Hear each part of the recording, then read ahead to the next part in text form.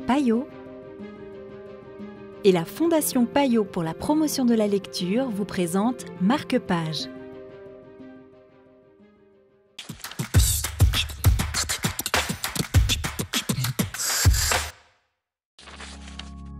Bonjour et bienvenue dans Marque-Page. Aujourd'hui, nous vous présentons Mon bel animal de Mariké Lucas Rijnevelt aux éditions Buchet-Chastel.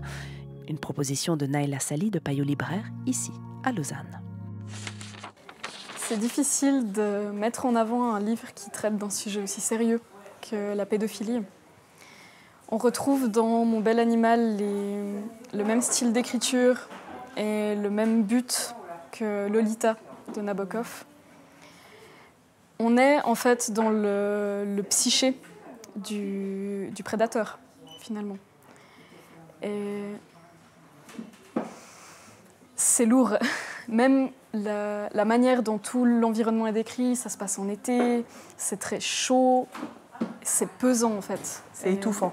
Étouffant, exactement. Et en fait, on peut ressentir le mal-être du personnage et le mal-être que sa, proie, d'une certaine manière, ressent. Même si lui est dans un déni complet en fait de, de sa maladie, il a quelques moments de lucidité, mais il va plutôt les mettre de côté et plutôt parler de ça comme une idylle alors que alors qu'elle a 14 ans. Exactement. C'est terrible. Pourquoi c'est un livre important? C'est un livre important parce qu'on entend, surtout de nos jours, beaucoup de témoignages des personnes qui ont subi ça, mais on a peu de vision du prédateur lui-même, qui est aussi, d'une certaine manière, victime de, de sa maladie. C'est une maladie, la pédophilie. Et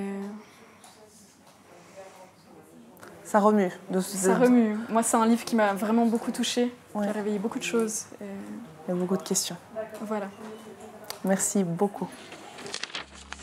Que quelqu'un gère ta vie, c'est ce que tu voulais. Pas forcément ton père, plutôt une personne qui comblerait tous les vides en toi. C'était mon bel animal pour marque-page. Quant à moi, je vous dis à bientôt pour un nouveau livre et un nouveau chapitre.